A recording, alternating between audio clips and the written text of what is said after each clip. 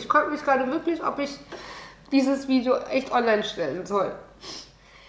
Ja, hallo meine Lieben, heute gibt es ein etwas anderes Video, denn ich bin heute ein bisschen traurig und äh, wer mich vielleicht kennt, der weiß, dass ich versuche dann diese Stimmung mitzunehmen und dann umzuwandeln in etwas Gutes. Und ich nehme heute diesen Tag zum Anlass, über mein Wochenbett zu sprechen. Ich hatte das schon mal angekündigt, dass ich darüber sprechen werde und genau das werde ich heute tun. Also, bleibt dran. Warum bin ich heute nicht so gut drauf? Ganz einfach, der Noah, der war jetzt die ganze Woche krank. Ähm, man hört es mir auch noch ein bisschen an. Ist ja klar, ist das Kind krank, ist die Mama krank. Und heute Morgen habe ich ihn halt nach ein paar Tagen Kita-frei, ähm, als er zu Hause war, wieder in die Kita gebracht und er konnte sich nicht von mir trennen. Er hat richtig geweint. Er war richtig, richtig, richtig traurig.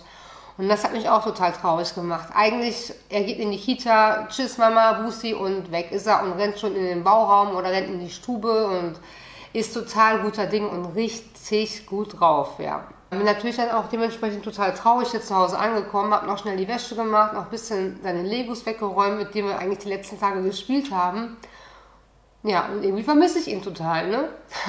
Also zum Jahreswechsel hatte ich angekündigt, ähm, dass es in diesem Jahr auch noch mehr privatere, persönlichere Videos von mir gibt. Das heißt, dass ich auch mehr über ähm, die Zeit nach der Schwangerschaft spreche. Ach, Entschuldigung, Leute. Und auch eure Fragen beantworten möchte. Ja, und deswegen, ja, der Tag ist heute eh schon so ein bisschen traurig angefangen. Da kann ich mit diesem traurigen Thema leider weitermachen, denn mein Wochenbett war nicht so schön.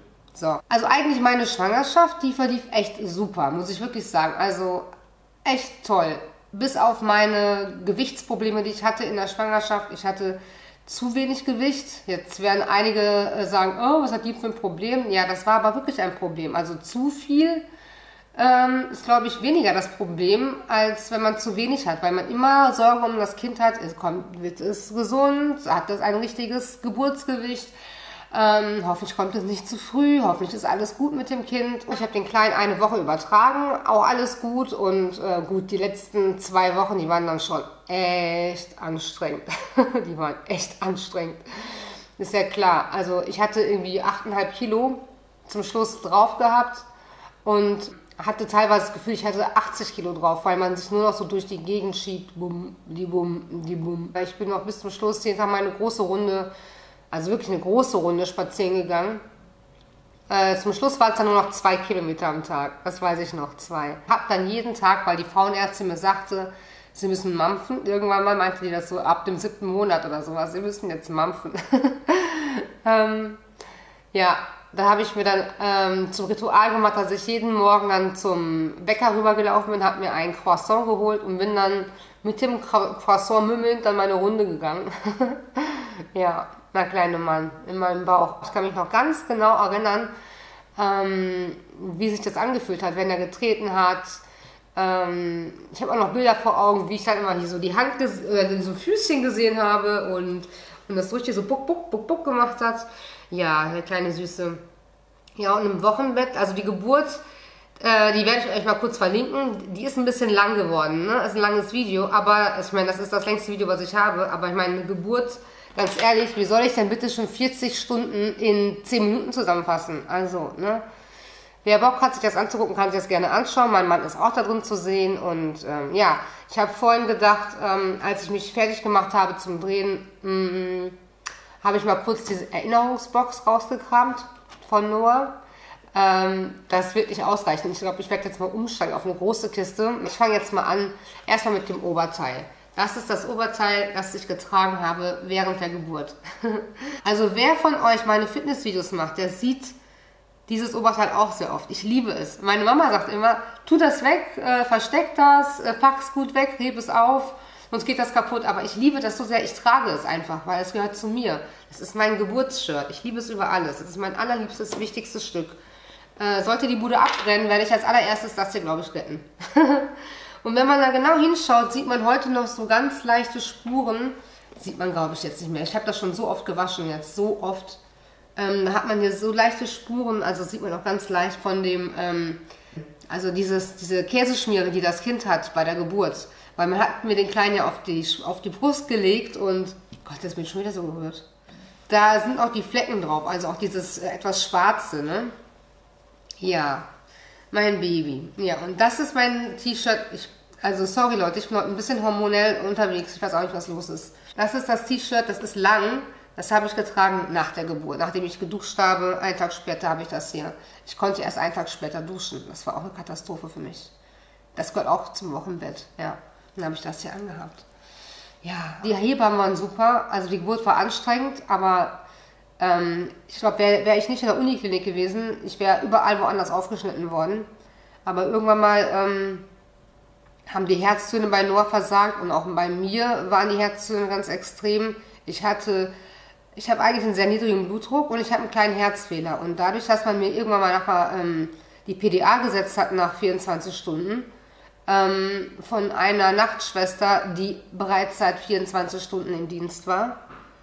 Ähm, hat man versucht, mir in den Wehenpausen, in den zwei Minuten Wehenpausen, in dem, in dem kleinen Korridor, versucht, diese PDA zu setzen. Ich habe so geheult, Leute. Ich war so fertig. Meine Mama war dabei, mein Mann war dabei und die waren auch nur noch fix und fertig, die Armen. Ähm, ich habe letztens noch Fotos gesehen, wie die beiden so auf dieser auf so einer Couch oder auf irgendwas saßen in dem Kreissaal so, der andere so. Es ist so witzig, die sehen aus, als wären die den Mount Everest äh, bestiegen oder so, so fertig. Und da war ich noch gerade in der Halbzeit sozusagen. Ja. Es ist anders, als man denkt. Ich habe mir das so romantisch vorgestellt. Ich gebäre das Kind, man legt es mir auf die Brust und alles ist schön. Und bin glückselig und mir geht's gut und alles.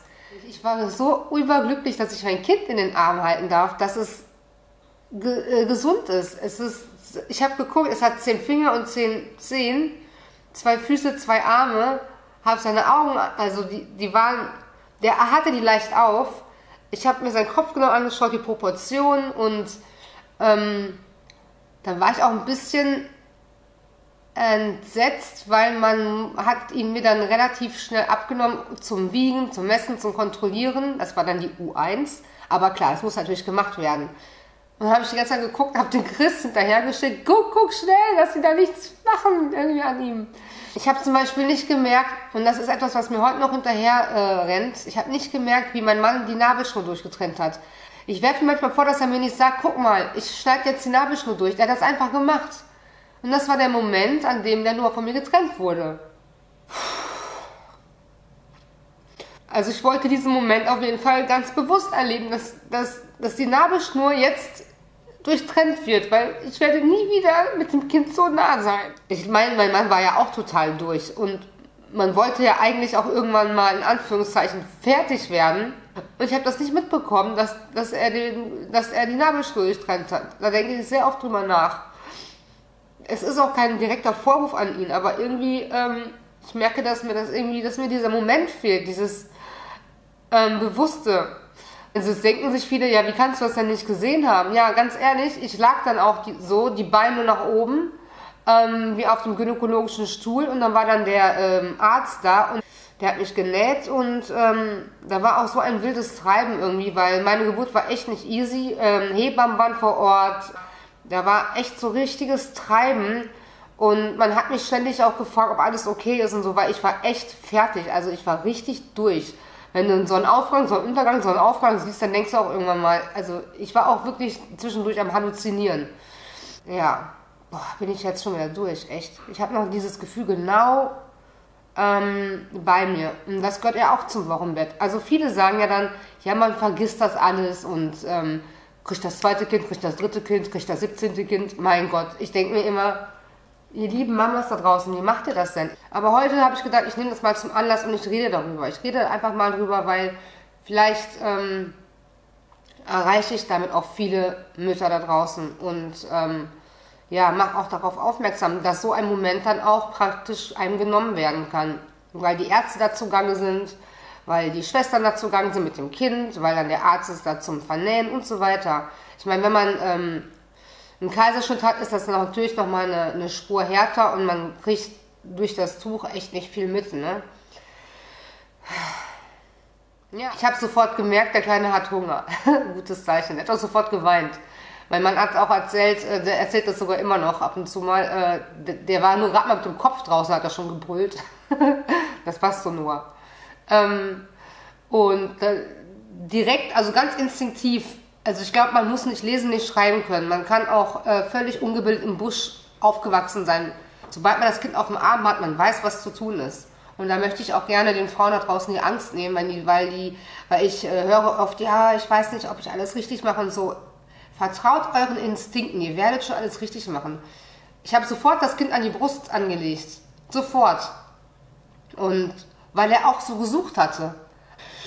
Ja, das mit dem Stillen hat am Anfang natürlich nicht gut geklappt. Der Milcheinschuss, der kommt natürlich erst und äh, die Hebammen, äh, also das Ganze auf der Wochenbettstation, das war echt eine Katastrophe. Also eins möchte ich gerne weitergeben, wenn ihr entbunden habt und ihr bleibt noch im Krankenhaus die ersten zwei, drei Tage, guckt, dass ihr eine Stillberatung bekommt oder dass eure Hebamme zu euch kommt. Also ständig war ein reges Treiben auf den Fluren.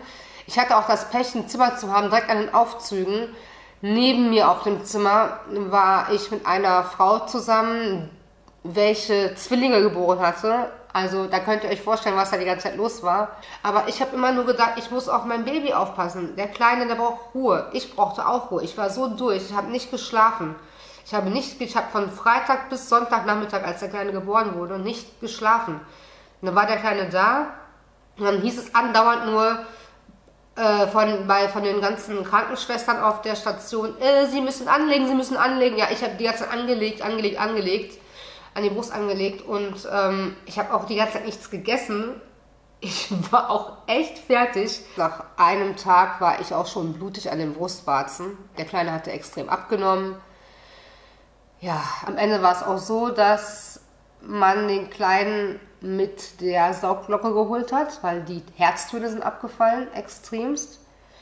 Äh, ich habe das auf dem Monitor gesehen und auch direkt geschrien. Habe gesagt, äh, der Kleine, der Kleine, die, ähm, die Herztöne, weil ich, das, ich kann das interpretieren, ich verstehe das. Ne? Und ähm, die kam auch direkt und dann wurde auch Schnippschnapp gemacht und dann wurde ich dann auch geschnitten und äh, ja. Und damit hatte ich leider fast über ein Jahr zu tun.